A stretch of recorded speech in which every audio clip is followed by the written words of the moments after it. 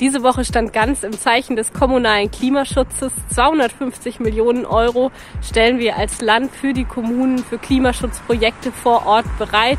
Von der Lastenradförderung über PV auf Schuldächern bis hin zur Wärmenetzplanung. All das können die Kommunen beantragen, ohne einen Eigenbeitrag dafür leisten zu müssen. 60 Millionen Euro werden auch noch zusätzlich über einen Wettbewerb vergeben. Ansonsten war ich diese Woche noch viel unterwegs, habe mich mit einigen Verbänden getroffen, unter anderem mit der IHK Rheinland-Pfalz. Da ging es um das Thema Innenstadtentwicklung und wie wir die Aufenthaltsqualität vor Ort steigern können, dass die Menschen gerne in die Innenstädte kommen. Und wir hatten auch ein Treffen mit der Architektenkammer Rheinland-Pfalz, wo es um die Frage des nachhaltigen Wohnens und Bauens ging und die Frage, wie wir vor allem im Bestand die Gebäude klimaneutral gestalten können.